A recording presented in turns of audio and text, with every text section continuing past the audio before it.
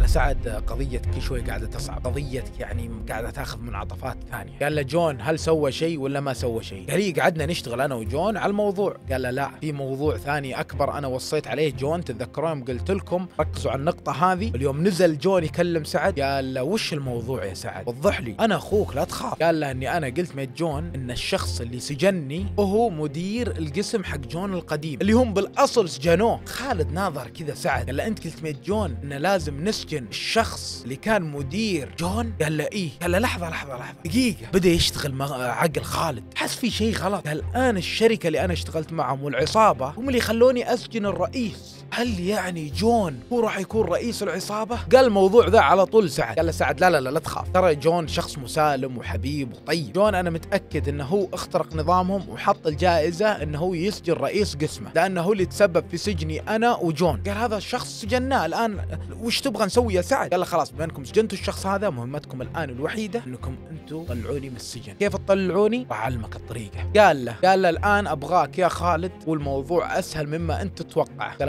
أبغاك يا خالد إنك الآن تروح للسفارة، السفارة هم اللي راح يحلون كل هذا، قال نروح لسفارتنا، قال روح لسفارتنا. هم اللي راح يحلون المشكلة هذه بشكل كامل. وراح يوقفون معاك، استغرب خالد، يعني كل هذه يا سعد عشان تسجن الشخص ذا عشر سنوات، قاعد يقول الكلام ذا لسعد، قال له سعد اسمع. ما راح تعرف شيء إلا لما نطلع من هنا، لا تشيل هم، راح خالد خذ أغراضه ولبس لبسه وراح للسفارة. السلام عليكم مساء الخير. أول شيء أعتذر عن التأخير في القصة ولكن أنا شرحتها لكم في نهاية المقطع اللي فات. جماعة الخير أنا قعدت أسجل القصة مدة ساعة ونص أو ممكن ساعة و50 دقيقة بالضبط. بعد التسجيل هذا في الأخير أكتشف إني مقفل الصوت عن طريق المكسر. لو إني حاط السماعة على إذني كان انتبهت إن الصوت مقفل. عشان كذا تأخرت في تنزيل القصة. قبل ما نبدأ في مقطع اليوم لا تنسى تضغط على ال like وتشترك في القناة. بقينا شوي على المليون متابع. تنويه أخير الناس اللي تقول أسامة أنا أخذ مقاطعك وانزلها في التيك توك. جماعة الخير خذوا اللي تبغون. يا جماعة الخير عادي لا تشيل هم. خذ اللي تبغى بدون ما ترجع لي. حرفيا النقطة هذه قاعد أعاني فيها الفترة الأخيرة بشكل كبير. خذ أي مقطع داخل قناتي بدون لا تستأذن مني نهائيا. الموضوع فيه منفعة لك سويه. يلا خلينا نبدأ. اليوم يا جماعة الخير راح نتكلم سعد يوم طلع من بيت أبوه. خالد اكتشفنا أنه وصل هناك ولكن سعد كيف وصل للمرحلة هذه؟ سعد يا جماعة الخير أول ما قرر أنه يطلع برا يدرس. وأصلا سعد كان يقول أن حياتي في البيت كانت مرة سيئة. الأب مدمن الله لا يبلانا. وأخوي الكبير برضو كذلك. وأمه كانت متوفية. جاء قرار للبعثة للناس اللي متخرجين من مرحلة الثانوي. أي شخص حاب يبتعث وجاء قرار البعثة يا جماعة الخير في ذيك الأيام. قالوا أي شخص حاب يبتعث يجيب لنا ورقة بتوقيع ولي أمره. طبعا سعد يقول لو رحت لأبوي وقلت له راح يرفض. في البداية أنا رفعت يدي ووافقت. خدت الورقة هذه ورجعت للبيت وقلت أقول ميد أبوي ما أقول له. خلني ساكت لين أشوف نهايتها. وكانوا المدرسة نفسهم طالبين برضو منا جواز السفر للناس اللي يبغون يبتعثون بعد مرحلة الثانوي. قال أفضل وقت أروح أكلم فيه أبوي اللي هو الوقت اللي يكون أبوي فيه خارج التغطية حرفيا ويكون مخه فاصل وما عنده أي تركيز. لو أكلمه في ذاك الوقت راح يوافق مباشرة. وحرفيا انتظر الوقت اللي يكون فيه أبوه خارج التغطية. وراح وكلمه وأبوه وافق. قال بس يا يبا وقع تحت وابصم إنك أنت شخص موافق. إني أطلع في هذه الرحلة. طبعا أبوه باعتقاده إن هذه بس رحلة وبيرجع يعني يومين ثلاث أيام وراح يرجع. ما يدري إنها بعثة خارجية لأنه كان خارج التغطية نهائيا. يقول سعد يوم شفت أبوي يوقع حرفيا استانست ورحت قلت ميد أخوي. وهو طلع هو وأخوه الثاني. وأخوه سوى نفس الطريقة وراح لأبوه وخلى أبوه يوقع. وطلعوا اثنينهم في نفس الرحلة وهي بالحقيقة البعثة. وسافروا بعد فترة أبوهم أدرك إن عياله مو موجودين. حرفيا يا جماعة الخير؟ الشخص المتعاطي يخرج عن حرفيا يخرج عن العالم الحقيقي بشكل كامل. الله لا يبلانا يا رب. سعد يقول رحت جبت الورقة هذه أنا وأخوي ورحنا المدرسة نعطيهم إياه وجبنا جوازاتنا معنا. أخذنا الجواز ورحنا الله يسلمكم للوزارة. طلعونا من المدرسة قالوا يلا تروحون أنتم الوزارة كنا حنا وثمان أشخاص.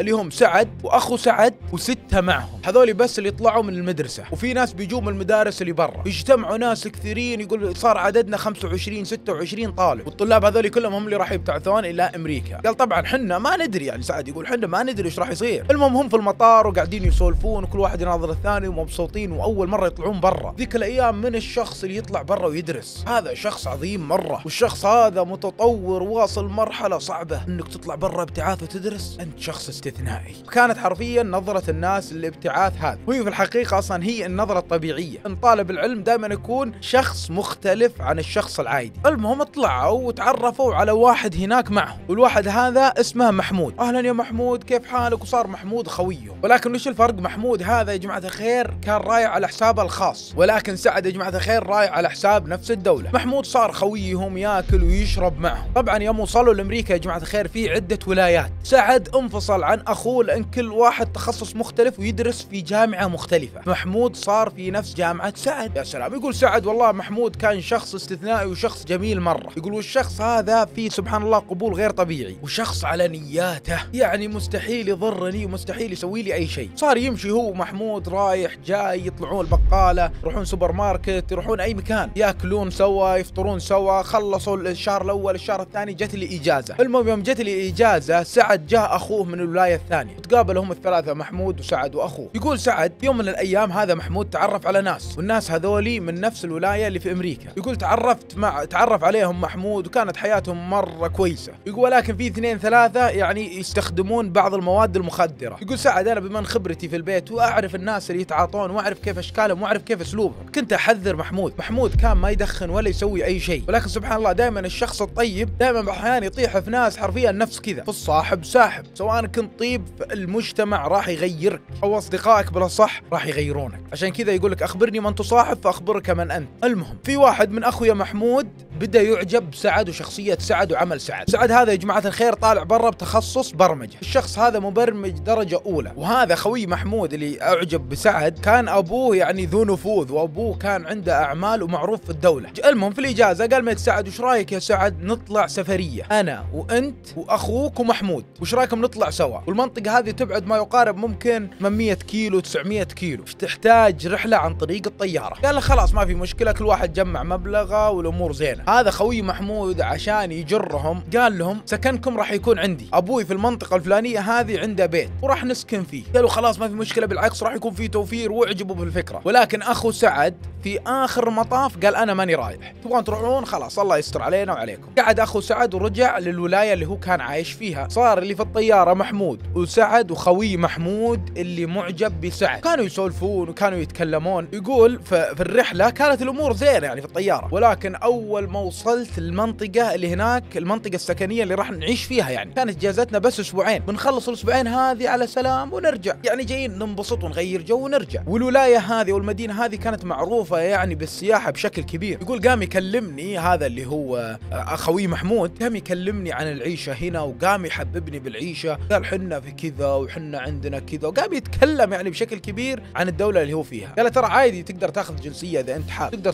تكون معنا مواطن وتعيش معنا ويعني الأمور سلامات. يعني قصد الأمور سهلات والأمور زينة. قال له والله سعد لا. أنا ودي والله أخلص دراستي وأخلص كل شيء وأرجع لدولتي. قال له خلاص ما في مشكلة. بس أنا يعني إذا أنت تبغى تصير مواطن معنا ما في مشكلة. بنضبطك وبن يعني زي اللي يقول بنسنعك. ولكن لازم دولتنا تستفيد منك. واتوقع النظام هذا صدق موجود في أمريكا؟ أتوقع والعلم عند الله. إني سمعت واحد يتكلم عن النظرية هذه. المهم سعد بين رغبته أنه رافض. مستحيل مستحيل. وسابع المستحيلات إنه يوافق. هذاك أصر عليه عليه. أصر عليه أصر عليه. قال له مستحيل يا أخي أنا عندي أهل ينتظروني. عندي أبغى أرجع لبلدي أبغى أعيش.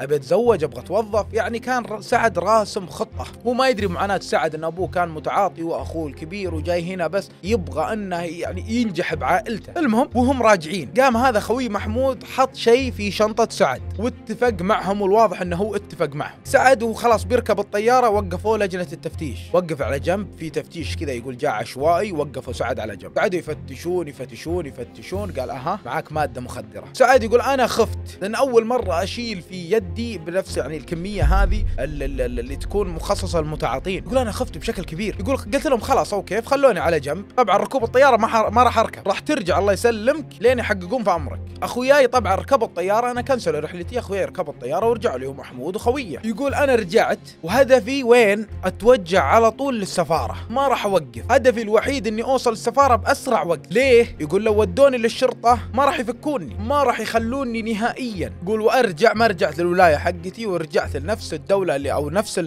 الولاية اللي أنا فيها. ورحت يا جماعة الخير للسفارة. أول ما رحت للسفارة أهلا وسهلا. وش السالفة؟ والله السالفة كيت كيت كيت كيت كيت كيت. قال لهم السالفة كاملة من إلى. وقال لهم في شخص عرض علي كذا وشخص حدد لهم الموقف حرفيا. قال خلاص إحنا راح نوصلك الولاية عن طريق إن أنت بتكون مع الأمن ال- الخاص بالدولة. وأخذوه في السيارة وتوجهوا للولاية اللي هو فيها. طبعا هم في السيارة قاعدين يتناقشون مع سعد. قالوا من الشخص هذا؟ وعرفنا عليه وش وضعه؟ قال أنا والله شخص ما أعرفه هذا خوي شخص معاي يعني بدأوا يتبحثون في الأمور بشكل كبير. قالوا خلاص هذا أنتبه منه وأنا راح ندرس الحالة ذي وراح يكون بيننا وبينك تواصل. يقول رجعت للدولة هذه ورجعت للجامعة وخوي محمود شاف سعد. قال له شلون المطار خلاه يتجاوز ويوصل الولاية هذه؟ المفروض الآن الشخص هذا مسجون أقل شيء تهمه يعني بياخذ فيها أربع شهور ثلاث شهور. وشلون قدر يتجاوزهم؟ ومن سمح له. فأكيد إن سعد هذا شخص مو طبيعي. أكيد عنده نفوذ أكيد أكيد قام يعني يستخرب من الشيء هذا. طبعا إذا كان في مخصص الأمن الدولة ما يمر على نقاط التفتيش. لأنه مخصص لدولة معينة. يكون لهم مسارات خاصة مثل ما أنتم عارفين. ويقول سعد أنا حاولت أتجنب محمود وخويه وصرت أدرس مرت السنة الأولى مرت السنة الثانية. السنة الثانية أخوه اللي كان مع سعد جاء لنفس دولة سعد. لأنه نقل تخصصه كان يدرس تخصص ونقل من تخصص لتخصص وقالوا التخصص هذا عند جامعة أخوك سعد. وراح عاش عند سعد. صار سعد وأخوه مع بعض. يقولوا تستمر الأيام واستمرت الأسابيع ورجعنا ندرس. خلاص باقي سنة وأرجع. باقي سنة وآخذ شهادتي وأرجع. يقول لاحظت في الأيام الأخيرة ناس يوقفون عند الباب وناس مخيفين والناس هذولي ناس يعني مو طبيعيين من يقول من جسمهم من شكلهم كأنهم ناس كذا سفاحين عصابات. يقول أنا خفت والمشكلة الأكبر إني خفت على أخوي. أخوي ما يدري إيش صار وما قلت له أي شيء من اللي صار. وأخاف إنه يتأثر أو يجيه شيء. وكان توقع سعد توقع سليم وفي محله. وهو طالع في يوم من الأيام رايح للسوبر ماركت. يقول كانت معي سيارة قديمة من نوع شفر موديل 98 يقول وأنا واقف عند الباب وأدق السلف يقول السياره طبعا وهي تشتغل تطول وهي تشتغل. تشتغل تشتغل تشتغل. ويدق السلف الثاني. وأنا قاعد ادق السلف الثالث والجو كان برد مرة. يقول له شوف اثنين يمشون لم. إلا واحد يطق القزازة. نظر كذا في سعد قال له أنا؟ قال له نزل القزاز نزل القزاز. قال له بالمعنى الصحيح قال له اسمع اللي موصيهم الشخص خوي محمود يا جماعة الخير. قالوا له لو ما تشتغل مع صديق محمود ترى ما راح يكون خاطرك طيب. شفت أخوك هذا اللي جوا؟ ما راح نخلي الموضوع يعدي على خير. يعني يقولون بالحرف الواحد لو أنت تماديت ما اشتغلت أخوك اللي جوا سلم عليه. أبغى أقولها أنا عشان يوتيوب ولكن سلم عليه من الأخير. قاعد يعني يقول يعني إيش راح تسوون؟ يا راح نعطيه ابر تخليه هلوس يا نخليه يا رجل يدخل في أي جريمة. يعني من النهاية هو رايح رايح. من الأفضل إنك تشتغل معنا. له خلاص أنا راح يعني أفكر الموضوع بعلمكم. يقول أنا داق ريوس وراجع وأناظر العصابة. وناظر اثنين واقفين ناس غريبين. ذا البرد والموقف مخيف. وأنا أروح البقالة أشتري لي كذا شغلة وأرجع أصلي الفجر وأنام. كان الموضوع مخيف لأبعد درجة. دقيت ريوس رجعت مشيت سيدة إلا يمرون لمي خط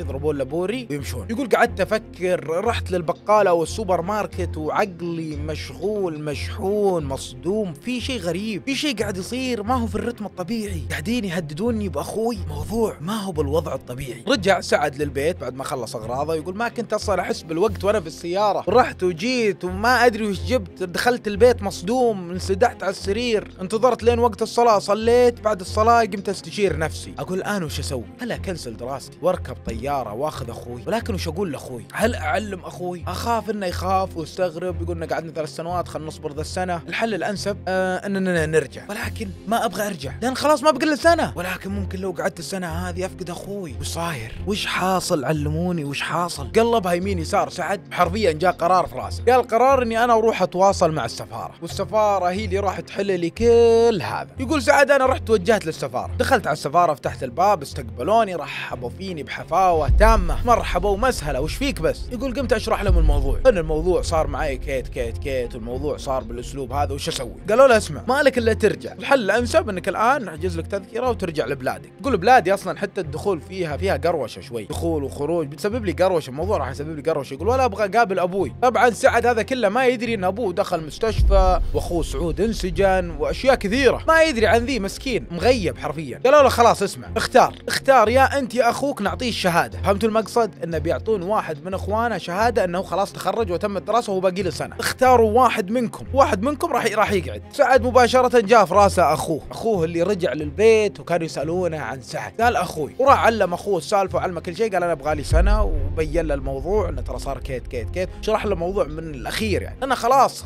صار على المحك. أخوه استقبل الأمر والموضوع ومشاه. قال خلاص أعطوني الشهادة ورجع لنفس الدولة حقته. باقي الآن سعد هناك. قالوا سعد أنت الآن ما عندك إلا خيار واحد. تستمر. واذا طاح الفاس في الراس حنا بنسنعك. ولكن راح نسنعك بأسلوبنا بس راح تطول. أنت أهم شيء عندك الشهادة؟ قال إيه. قال خلاص إذا أهم شيء عندك الشهادة حاول إنك تشتغل معهم بشكل بسيط لين نخلص أمورك وتمشي. قال لهم خلاص. راح لخوي محمود وقعد يسولف معاه ودخل معاه. قال أنا ما راح ذا ولكن راح أشتغل معكم. أنا ما أبغى منكم جنسية ولا أبغى منكم شيء ولكن أنا أبغى أشتغل معكم. ولكن ترى آه كل شيء بفلوس وما أدري إيش. يلا خلاص تمام. صاروا يشتغلون عن طريق على, على ال hacking وعلى الأمور هذه. بعد فترة يا جماعة الخير لاحظ خوي محمود. ان سعد معاه تواصل مع السفارة. انهبل.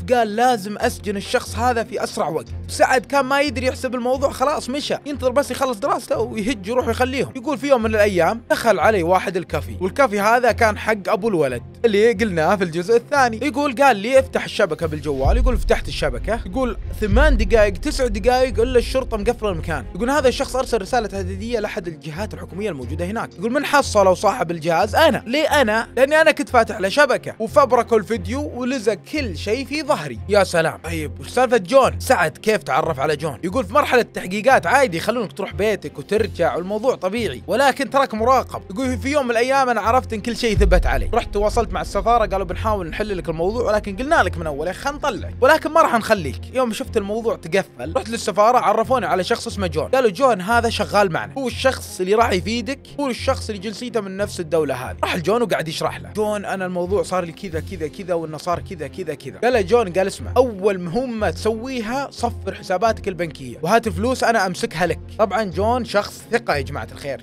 شخص ثقة ثقة ثقة مرة. أخذ مبلغ ما يقارب 280 ألف دولار. قال هذا أول شيء تسويه لأنهم راح يقفلون على حساباتك البنكية وراح ياخذون فلوسك يخلونها للدولة. الفلوس هذه على الأقل نستفيد منها نجيب لك محامي يطلعك بعدين. قال ثاني شيء أنا راح أكون تواصل بيني وبينك. لا تقطع التواصل وعطاه جهاز جوال صغير. قال تواصل معي فيه. يقول جاء اليوم اللي بيدخلوني فيه خلاص الحبس بنحبس. الحبس هذا ما هو سجن لا حبس بسيط مرة. يقول على ان الفترة بتكون أسبوعين ثلاثة أسابيع. يقول كنت أتواصل مع جون بشكل متكرر في يوم من الأيام. جو بينقلوني من الحبس للسجن. يقول وتقفل كل شيء موجود معاي. خذ الجوال وكل شيء معاي فتشوني تفتيش دقيق. وانقطع تواصلي مع جون. ولكن سالفة الساعة هذه كانت مع الفلوس ساعات رولكس. الساعة هذه كانت موجودة ولكن قال جون ميت سعد خلي الساعة معاك. هذه ممكن يوم من الأيام تحتاج شيء وتقدر تبدل فيها عن طريق الساعة. وصدق الساعة هي نفس الساعة اللي أعطاها خالد عشان يعرف جون. يقول صارت السالفة هذه كلها مفتعلة من خوي محمود هذا اللي هو أصلا كان مدير جون. والشخص هذا معروف بالفساد. شخص فاسد فاسق حرفيا. فاسد فاسد لأبعد درجة. وجون كان هدفه الأساسي إنه هو يسجنه عشان ينتقم منه. والسفارة حقت سعد كانت تبغى تطرح هذا المجرم